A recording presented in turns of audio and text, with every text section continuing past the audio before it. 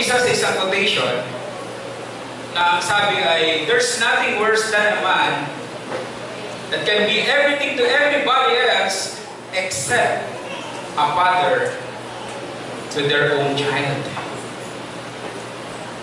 Ang isa daw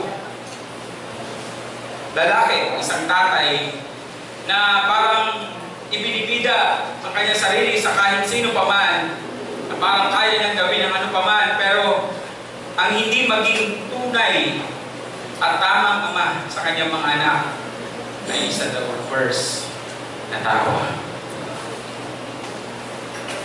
Tama po ba yan? Do you agree? Kasi sa ating panahon ngayon, di ba, maraming, sabi nga nila, ay madaling maging tatay, pero mahirap maging ama. Kasi iba, ibang usapan na yan.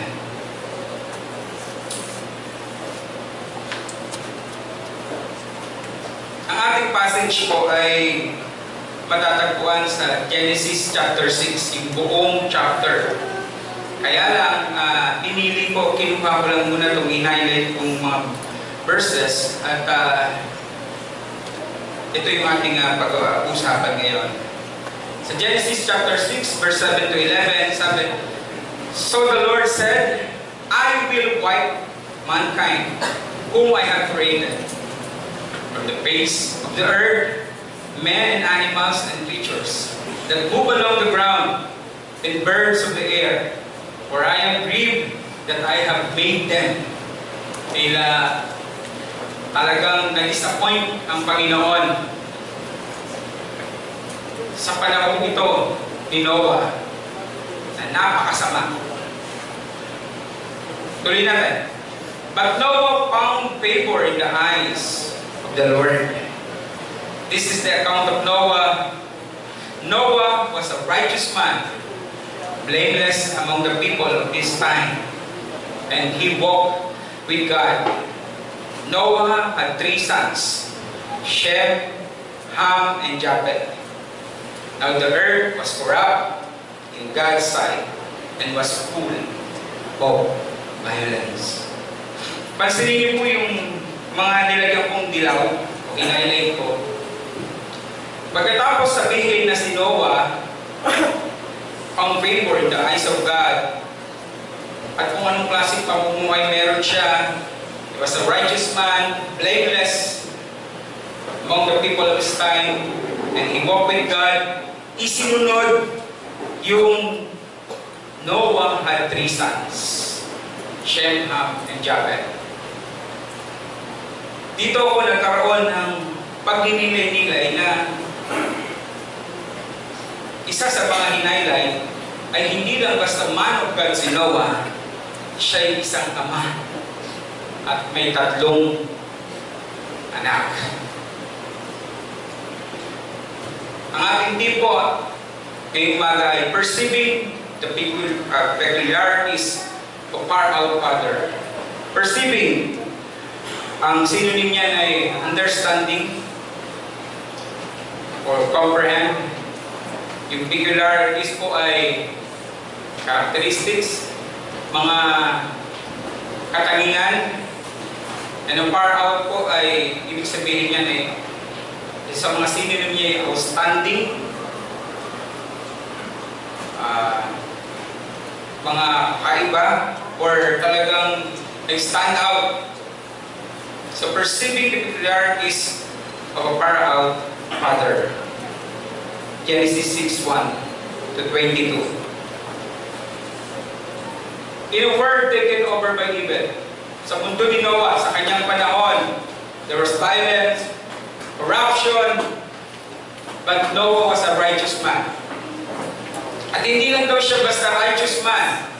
He was the only follower, follower of God left on the earth. Imagine that. Bukod sa iyo, ang ibang tao po ay napakasasama na. Ayon sa kwento, sa account nito ng chapter 6, talagang napulo ng Diyos sobrang kasamaan ng tao. May binanggit pang yung, yung sons of God na ang sinasabi ng ilang scholar ay angel o sinasabi ng iba yung mga Nephilim ay nakipag-asawa sa sons of men At nag-create ito ng uh, mga lahi na talagang mga salbahe at walang kwenta at mga mga makasalanan na tao. Pero si Noah, sa kabila ng iyon sa kanyang generation, he was a righteous man. The Bible says he was blameless among the people of his time. It also says he walked with God. Living in a society saturated with sin and rebellion against God, Noah was the only man alive that pleased God. It's hard to imagine such unwavering faithfulness in the midst of total godlessness. Imagine that. Ang hirap daw parang intindihin na nag-iisa kang matuwid, nag-iisa kang nagmamahal sa Diyos, may takot sa Diyos, at ang mga kapitbahay mo, ang mga kabarangay mo, ay mga lapastangan, makasalanan sa Diyos.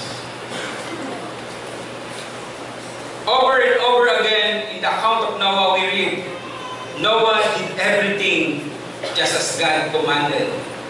His life of 950 years na hindi na mangyayari ngayon. Yung buhay po tumagal ng 950 years exemplify the peculiarities of a far-out Father. To be right with God has often meant to be in trouble with men. Sometimes po, or most of the time, kapag gusto mong talagang maging right with God, tama ang pamumuhay sa Diyos, madalas, ang kapalit nito ay you will be in trouble with men. Lalo na yung mga makasalanang mga tao.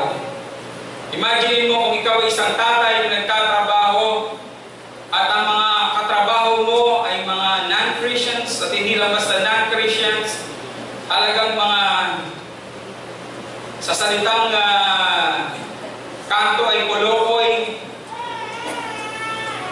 mga mga taong uh, mga lalaking walang uh, takot sa Diyos, mga bad influence, imagine mo, kung ikaw lang ang isang tao, Kristiyano sa lugar na yun, sa trabaho mo na yan, sometimes you'll be in trouble with them. Naranasan niyo na po ba yan, mga CBC fathers? And thank God, sa CBC, may itinatayo ang Diyos ng mga tatay na may takot sa Diyos. Malapakan naman natin ang Panginoon.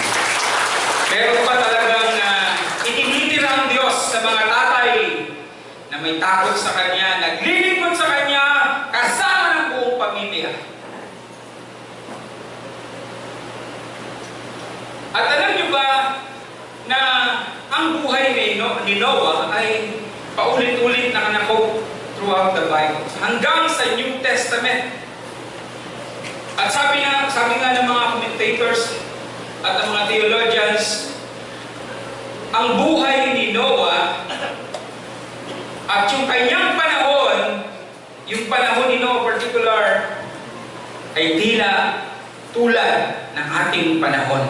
Sa Luke chapter 17, 26 to 27, just as it was in the days of Noah, so also will it, uh, will it be in the days of the Son of Man, referring to our Lord Jesus. People were eating, drinking, marrying, and being given in marriage up to the day Noah entered the ark.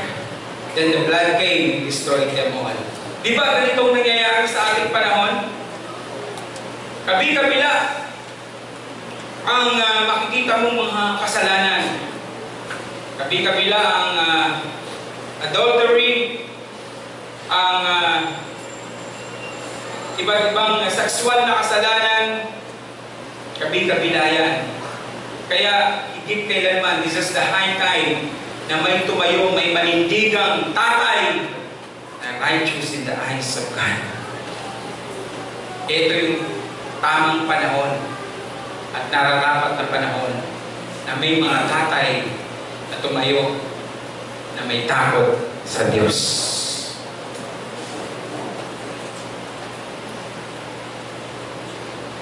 Question, what are the peculiarities of far-out father? Ano-ano nga ba daw po yung mga katangian ng isang naging outstanding father? bibigay ko na po yung tatlong lamang na sagot sa nakita ko doon po sa ating uh, passage. Number one, is godly life is remarkable. The keyword ay remarkable. Kanyang godly life daw po. Number two, he is the persuasive father in serving God. And number three, his faith in God is consummate. Explain natin mamaya ako. Okay. Every father should remember that one day his child will follow his example instead of his advice. Kasi ganito lagi ang tendency. Maraming tatay ang galing-galing magpayo. Lalo na yung mga non-Christian na tatay. Pero yung buhay nila ay hindi mo makakitaan na naka-align sa kanilang pinapayo, sa kanilang mga anak. Tama po ba? Di ba sa ating panahon, maraming tatay dyan sa kapit, kapitbahay mo, sasabihin sa anak, anak, huwag ka maninigarilyo. Di ba? May mga ganyan tatay. Anak, masama magbura, pero yung bibig niya, keep on saying, uh, puto konchita, PI. Anak, huwag kang babaero, ha? Tapos, uh, alam ng anak niya na siya'y babaero. Ano po ang mahalaga kaysa sa advice? Ang example mo, tatay. Yung buhay mo.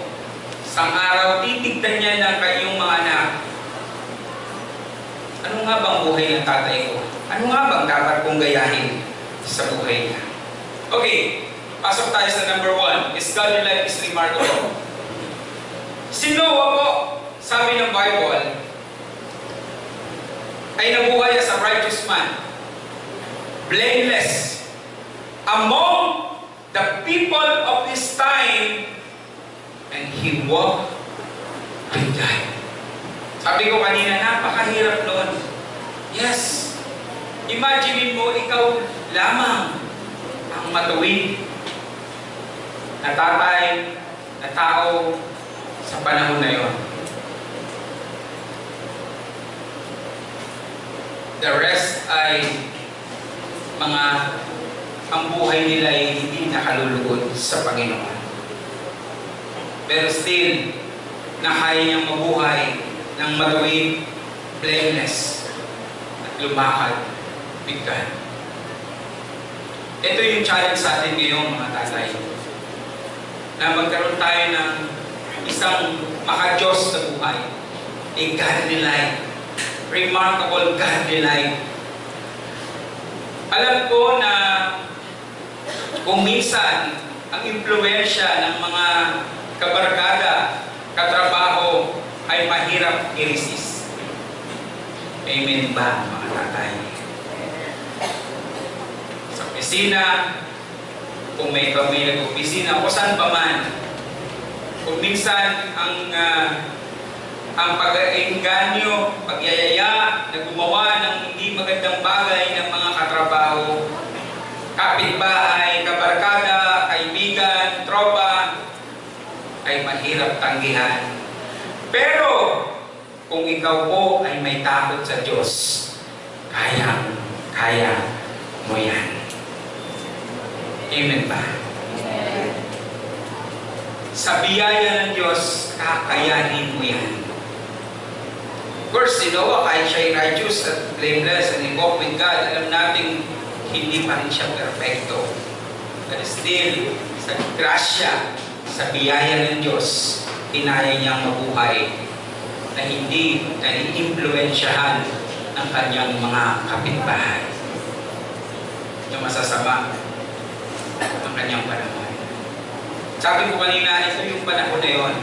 Parehong-pareho tayo po ng panahon ni Noah, parehong-pareho sa ating panahon. Kahit saan ka lumingon, andyan yung mga masasamang impluensya. Kahit saan ka lumugar, pumunta, nandyan sila. But still, ang isang taong may takot sa Diyos, ang isang tatay na maninindigan na siya ay may takot sa Diyos. Magagawa niyang mabuhay at mapupurihan ng Diyos sa kanyang buhay. Amen ba?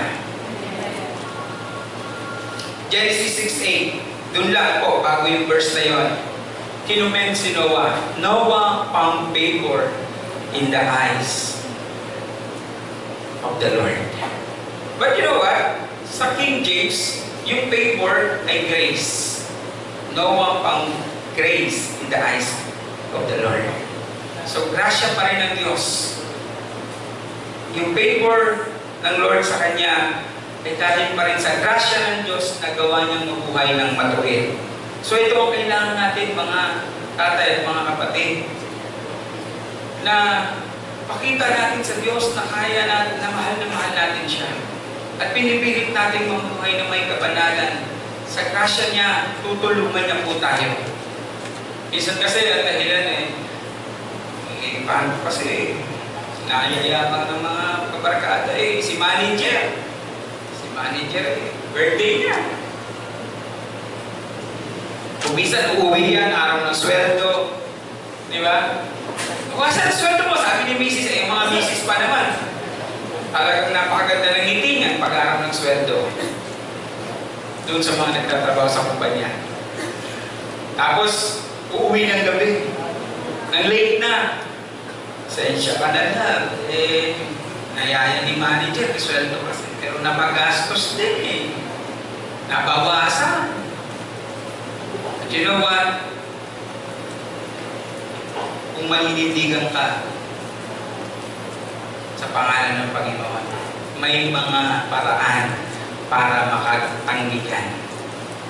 Amen ba? Next slide. Ano nga ba ibig sabihin ng righteous, blameless? Kumuha ko po ng ilang mga verses sa ibang pa, uh, part ng Bible, sa ibang books, at tinignan po natin kung ano ibig sabihin nun. Sandali lang po, inom lang ako natutuyuan. Ang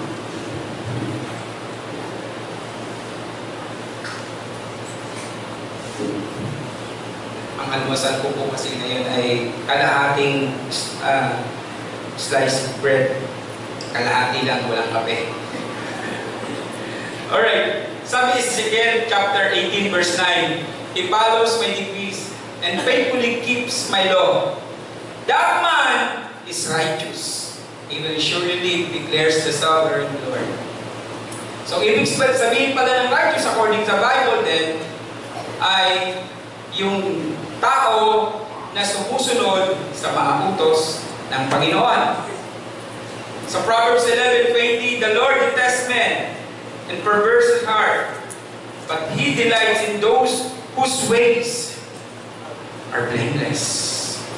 Halos pareho lang din. Yung kanyang pamumuhay ay blameless. Isa pa, sa usapang walk with God, nilinya si Noah sa Hebrews chapter 11, makikita niyo yan, yung mga yung Hall of Fame Hall of Fame ng mga ng mga great men of God.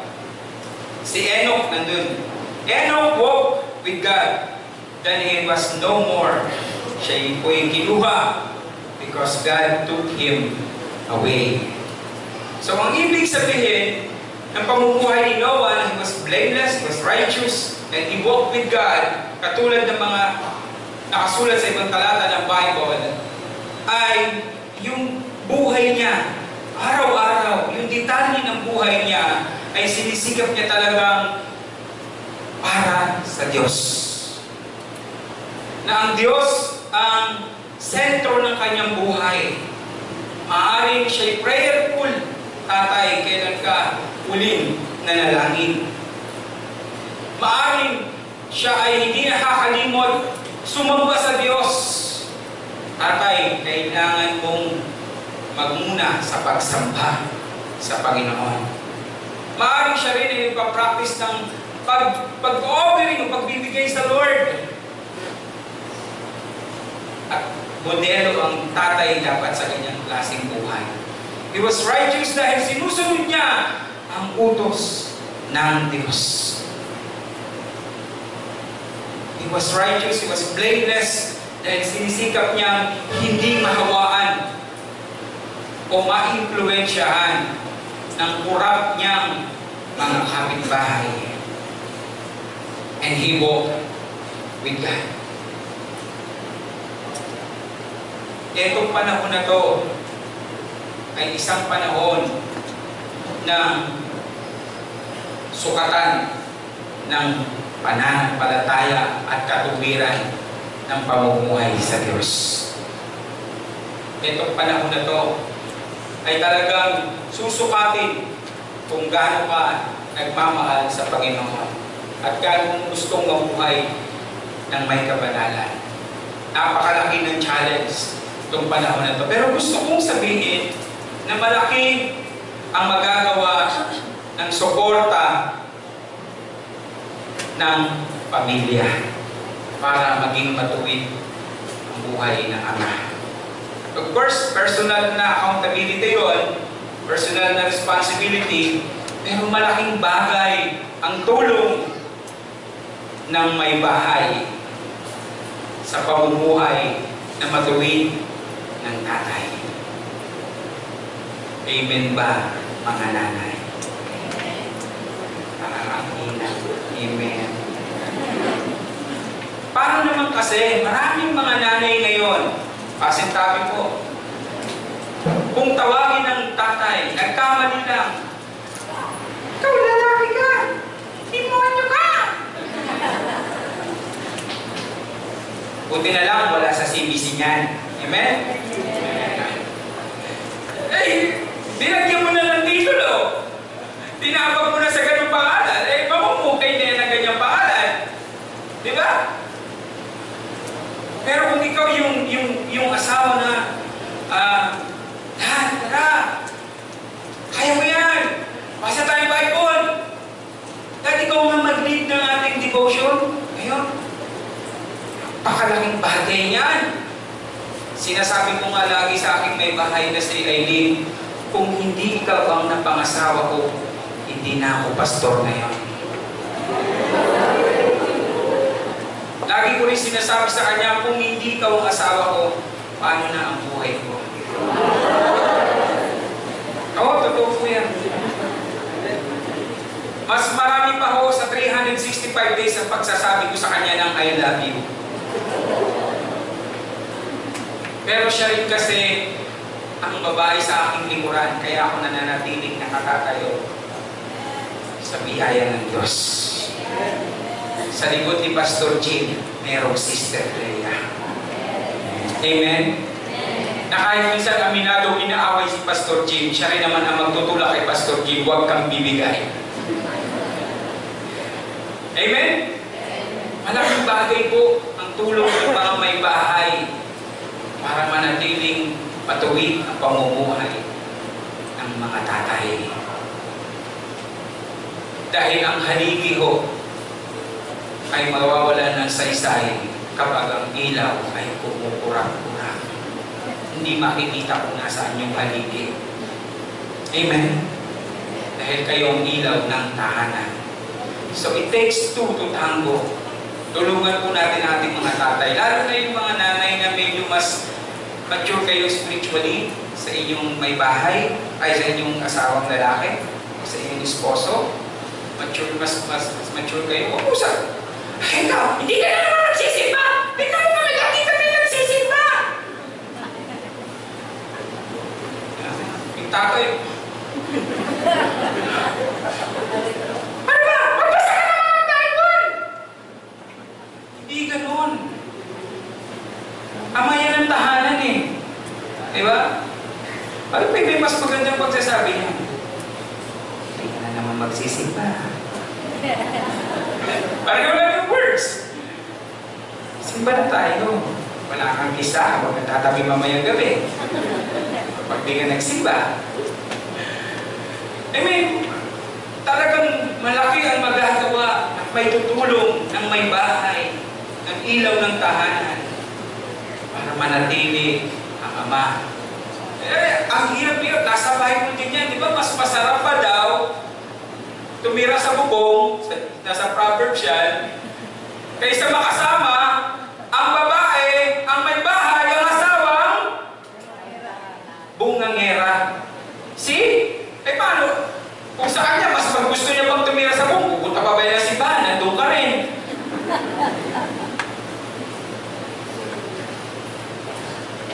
kailangan, kailangan po namin kayo, mga nanay mga may bahay. Kasi di nyo lang alam na may pinagdadaanan din. Nag-iisip ang inyong, ta- ang inyong asawang lalaki, paano kaya may tataguyod ang aking pamilya? Hindi mo alam, may mga personal na pinagdadaanan niya. Minsan nahihiya na siyang i-share sa'yo kasi pag i-share niya sa'yo, nakakaisang salita pa lang siya, nakakadalawang po ka na. Yan na naman! Ulit-ulit! I do believe malaking part yung asawa ni Noah sa kanyang pamumuhay na blameless and righteous sa mata ng Word. Amen? Although hindi sinasabi ng Bible, pero imagine niyo po, imagine niyo kung si, si Noah ay inutusan ng Diyos na bibig, ano yan Noah? Ay, pagtanim ka na lang. Anong sabi? Build ng build ng ark. Yeah? Imagine niyo kung ang, ang unang-unang kontrapelo sa calling ni Noah na mag-build ng ark ay ang kanyang asawa. Baka bawat tuktok niya ron eh. O, imbis na puro butas na. Di ba? Pero very supportive, marahil. Hindi man nasulat, pero sa tingin ko, very supportive yung asawa ni Noah sa kanya.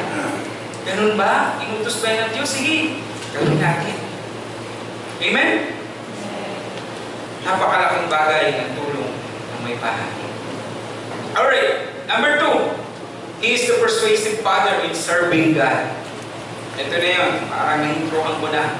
Genesis 6.10. Binanggit yung kanyang tatlong anak, Shem, Ham, and Japheth. Imagine niyo po, corrupt yung panahon ni Noah. Rampant yung kasalanan, godlessness. Ibig sabihin, halos lahat talaga, walang Diyos. May mga anak siyang tatlo, bukod sa asawa, may tatlo siyang anak na lalaki. At habang pinalalaki yung tatlo na yon, paano kaya nakumbinsi ni Noah yung kanyang tatlong anak na lalaki na samahan siya sa pagtatayo ng ark? Kung hindi siya good example na tatay. Di ba? Maaring kung hindi siya good example na tatay or masama siya ama, eh, ikaw na yan. Pa, eh, hindi, walang gagawin art-art na yan. Ikaw lang inutusan ng Diyos. Kami hindi. Huwag mo na kami damay dyan sa trip mo. Trip mo yan. Maraming mga anak, ganyan-ganyan, di ba? Mga anak,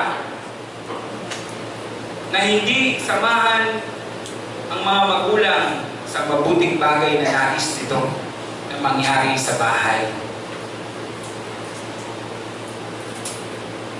Mga anak, ang pinakamagandang yaya o pag-iinganyo ng inyong mga magulang sa inyo ay ang manambahan. Nakasimba tayo, pero maraming mga anak ay, eh, simba na naman, linggo-linggo simba. Mall mo naman tayo po. Pero si Noah, I do believe na napaka-persuasive yung father serving God. Siguro napaka-excited siya nung kanyang, kanyang uh, ibinalita ito sa kanyang asawa at sa kanyang tatlong anak. Mahal ko, mga anak, tusan ako ng Diyos. Tusan tayo ng Diyos na gumawa ng arka kasi bumunawin niya ng mundo. Kasi makasalanan na ang lahat. Sasamahan niyo ba ako? Oo o yes? Yes. Hindi, oo, pareho lang yun. Ang ibig sabihin, nakumbinsi niya. May taga-abot ng, uh, ng kahoy at kung ano-ano pa mang mga ginamit nila. Meron akong isang kilalapang tatay na very persuasive in serving God.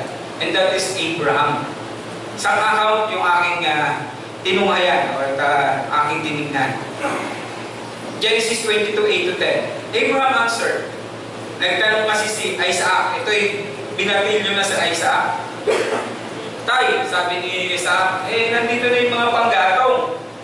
At uh, nandito na tayo, malapit na tayo sa bundok. Asan po yung iaalay natin? Sumagot sa Abraham, God Himself will provide the lamb for the burnt offering, my son. And the two of them went on together. So dalawa na lang sila. Naiwan yung mga kasama. When they reached the place, God had told him, Abraham built an altar there and arranged the wood on it. Di naayos na. Imagine niyo po yung, yung, uh, yung uh, iniisip, ano kaya yung uh, ginagawa na Isaac. Wala pa rin yung i-offer. Pero gumagawa na si tatay ng, ng altar. At may mga kahoy na. Then he reached out his hand. Ay, sabi niya, he bound his son, Isaac. Inumpisahan niya ng itali. Eh kung ako yun eh, tayo, anong ginagawa mo? Eh, bakit mo ko tinatalian? Di ba? Wala sa usapan ho ito eh. Pero, grabe, grabe itong tatay na to. Walang ganung reklamo sa Isaac. Tuloy-tuloy lang. He bound his son Isaac and laid him on the altar on the top of the wood. Then, he reached out his hand and took the knife to slay his son. Siguro kung ako yung anak na yun, kung ako sa isa, tay, sandali, sandali, mag-isip ka muna, tay, mag-isip ka muna po. Tay, kutsilyo yan, tay, totoo na yan. Di ba? Papapa, pero alam marahil na Isaac na ang kanyang tatay ay may utos sa Diyos. Inutosan ng Diyos. Kaya, pikit mata lang tong batang to. Sige tayo, gawin mo na yan. Kung anong pinagagawa sa iyo ng Diyos. At alam natin, lumaki rin si Isaac kasama ng kanyang tatay na naglilingkod sa Panginoon. Although hindi rin perfecto yung bata niya. Pero, Abraham, Isaac, and Jacob, throughout the Bible, sila yung tinatawag na forefathers. Amen? Ibig sabihin, grabe yung impluensya ni Abraham sa kanyang anak na, eh, kaya, na si Isaac na maglingkod sa Diyos. At ganun din sa Isaac sa kanyang anak na si Jacob na maglingkod sa Diyos. Mga tatay, kailangan nating impluensyahan, i-persuade ang ating mga anak, maging ating asawa na maglingkod sa Diyos. Kasi kung hindi natin sila madadala sa paglilingkod sa Diyos, sa ibang Diyos-Diyosan yan maglilingkod. Amen? At mga anak, kapag nakikita po na ang iyong tatay ay naglilingkod sa Diyos, suportahan mo na. Amen? Para sa pamilya din yan. Alam po sa doon sa campus ministry, grabe, maraming kabataan ngayon na napakalaki ng hatred, napakasama ng loob sa kanilang mga tatay. Nakarinig ako minsan, mabuti na lang lumaya siyang tatay na yan. Yung tatay ko na yan, walang kwenta yan, baka masasak pa yan. Grabe itong mga kabataan ito, diyan sa text. Kaya mapalad ang isang pamilya na may tatay na naglilingkod sa Diyos. At marami niyan sa City Bible Church. Palakpakan naman natin ang Panginoon.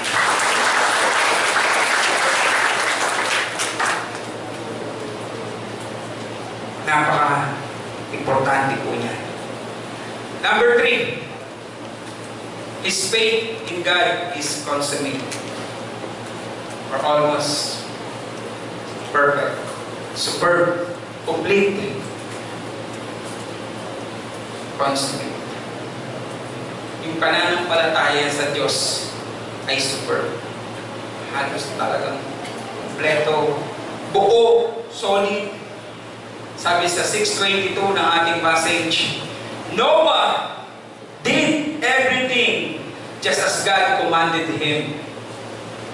Ginawa niya daw ang lahat. And to highlight that everything na ang ibig sabihin po, he did the specifications of the ark commanded of God. Sa chapter 6, 14 to 16, dun po sa ating passage, mababasa niyo dun po kung gaano kamitikulous ang Diyos. Specific na kahoy na gagamitin. Kinuha ni Noah. Sukat, laban, haba, lahat yun ni Noah. Bawat detalye na sinabi ng Diyos kung anong dapat mangyari sa ark. Lahat ng yun, ginawa ni Noah. And that is faith. Di ba? Kasi pwede namang, Lord, eh, yung kahoy, bakit hindi na naging nandyan lang sa paligid? Pero hindi siya gumanon. Eh, hindi nga siya nag-suggest. Basta kung ano inutos ng Diyos, gawa, etong kahoy ang gagamitin mo, ganito ang ilalagay mo para magdikit-dikit yan, ganitong sukat, ganitong haba, ganitong lapad, ganitong taas, yan ang gagawin mo. And He did everything. He gathered specific kinds of animals and foods that will on board with them. Hindi lang basta yung art. Abay, mahirap din yung anong klaseng mga hayop. May pituhan, may dalawahan, gumagapang, naglalakad. Abay, imagine niyo na igagather mo yung mga hayop na yon. For example, leon. Eh, sinasabi din ko, siguro yung mga leon sa panahon ni Noah, mababait. Sino may sabi sa'yo? Ang leon ay leon. Sabi sa Biblia, leon, pasok. Pasok. Yeah? Lahat yun. Doon pa lang eh. Sa art, medyo, sige, gagawin ko yan. Pero mga hayop, iba-iba. Kung anong hayop ang nag exist ngayon, yan pong uri na yan ang nailagay most probably sa art ni Noah. Of course, maliban sa mga isda, nandiyan sila sa tubig eh. Yung mga hayop na nag exist ngayon, yung dinosaur, hindi mo kasya. Pero isa pang mahirap bukod sa mga hayop, mga pagkain. Eh, hindi naman lahat ng hayop halaman ang kinakain. Tama? Kasama yun. Imagine, ilan lang kayo, walo lang kayo, tatlo na anak, may asawa tatlo. Asawa, ikaw. So, walo. Tapos, iba-ibang klaseng pagkain pa yun. Ang dadalhin mo sa art. Tapos ang art, tapos makuha mo ng mga hayop, pati mga pagkain. Pero utos kasi ng Diyos. Yung imbangan ng pagkain, ako po ay tapos ng nautical, alam ng karamihan yan. Isa sa pinakamahirap na trabaho sa barko ay ang kitchen. Stop. Diyan, puro tao lang pakakainin mo, ha? Yung pag-iimbak ng pagkain sa barko, napakamasalan yan. Dito, hindi lang silang walo ang kakain, pati pa mga hayop. Pero inutos kasi ng Diyos, and that is faith. He did also preaching ministry, simultaneous. Hindi ko ma-imagine pa paano niya ginagawa yon. Nangangaral, nag-build ng ark, pero ginawa niya yon. At binanggit na Peter yan sa New Testament. If he did, if he did not spare the ancient world when he brought the, pla- the blood of its ungodly people, but protected Noah, a preacher of righteousness, and seven others. Habang binibuild niya ang ark, nagtry ko sa talagang mag-preach. Magsisi na kayo. Gugunawin ang mundo. Sabi ng mga tao, ay, anong gugunawin? Anong blood-blood? Ano ba yon? Hindi siya pinansin. Ito pa ho, he did everything by faith. Grabe yung kanyang faith. Noah had never seen a blood. Hindi pa siya nakakakita ng baha. Nung panahon ni Noah po, ang blood ay imposible. Sa amin, sa mga taga Malabon, para kaming nasa binis. Nakakainis. Pero si Noah had never seen a flood. Noah had likely never seen rain. Kasi maaaring sa kanyang generation ay hindi pa umuulan talaga. Kung umulan man, napaka bihira siguro. Noah had never seen every animal in the world. Nakakita na siya ng mga hayop, pero hindi siguro lahat ng klase. ng hayop. Pero, grabe yung faith niya, ginather niya. Noah had never seen a structure like the one God told him, yung ark. Ano nga ba yung ark na gagawin? Pero yung faith niya ang nagtulak sa kanyang sumunod sa Diyos. Noah had never seen a boat float. Kasi yung lugar niya ay hindi naman malapit sa dagat. God, uh, but God spoke directly to Noah and he trusted in the word of God. Sa Hebrews 11.7, kinument si Noah. By faith, Noah being warned God of things not seen as yet, moved with fear, prepared ark to the saving of his house, by the which he condemned the world, and became heir of the righteousness which is by faith. So, ganun katindi yung pananampalataya ni Noah. Kailangan, kailangan po natin ng mga tatay na ganito ngayon. Na may matinding pananampalataya, yan ang pinagagawa ng Diyos. Sunod po tayo. Halimbawa po sa ating church. Ang spiritual father natin dito ay si Pastor Jim. Usapang simbahan naman po, usapang pamilyang CBC. May pinagagawa ang Diyos through Pastor Jim para sa atin. Sunod po tayo. Amen ba? Kung minsan, halos hindi na natin maintindihan yung vision o yung pag-move from here to another place. Saan nga ba, Pastor Jim? Pero siya, ito lang ang direction. Kung anong direction ng Lord, sunod lang po tayo. Sabihin mo sa iyong katabi, huwag kang ihiwalay. Mga kapatid, isang pamilya po tayo. Meron tayong tatay sa pamilya ng CBC na pinagkatiwala ng Diyos o pinagkatiwalaan ng Diyos. Sunod po tayo. Alright. Summary. Noah was a righteous man. Yes, he was blameless. Among his people, sa panahon niya, ay nanatili siyang matuwid sa paningin ng Diyos. Pero hindi rin siya perfectong tao. Ang weakness niya po ay wine. In fact, in Genesis 9, the Bible tells of Noah's only recorded sin. Tanging kasalanan na record kay Noah nung nalasing siya. At nung nalasing siya, he became drunk and passed out in his tent, making himself an embarrassment to his son.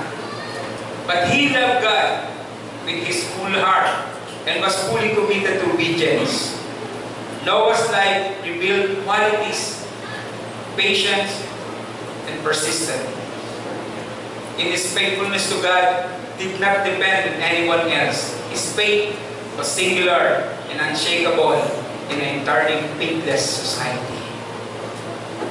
Mga kapatid, sana marami pa tayong tatay na maging katulad ni Noah. The recommendation, tatlo lang din po aking recommendation. In line with our main points. Live a remarkable life in the midst of a corrupt, sinful generation. Tatay, at kahit sino man na nandito ngayon, kahit gano'n ka makasalanan ang paligid mo, live a remarkable life. Number two, persuade your family to serve God wholeheartedly. Gawin natin ang lahat, mga tatay, na tayo yung pari ng tahanan. Padre di pamilya. At bilang padre di pamilya, tayo dapat ang nangunguna na maglingkod sa Diyos kasama ng ating pamilya. Amen po ba? Number three, and the last. Have a consummate faith in God. Be a man of faith and obedience in your lifetime. Ito po yung example ni Noah. Sana marami ba tayong maiindig na mga tatay? Mga tatay na nagmamahal sa Diyos, naglilingkod sa Diyos.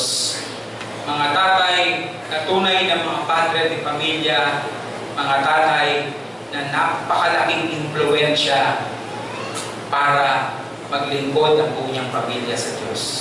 Kaya lagi ko itong sinasabi sa mga kabataan, papalad ka ng iyong mga magulang ay kristyano at naglilingkod sa Diyos. Kasi maraming mga kabataan akong kilala, mga magulang nila hindi Christian. Gusto-gusto nilang mag-church. Sumama sa church. Hirap na hirap sila dahil hindi Christian ang kanilang pamilya. Inipigilan sila. Pero ang anak ko ay nagabot ng thank you. Pero kayo mga kabataan dito sa CBC na may mga magulang na Christian, mapalad po kayo. Palad kayo mga kabataan. Sundan natin ang kanilang mga yapak sa paglilingkod sa Panginoon. Let us pray.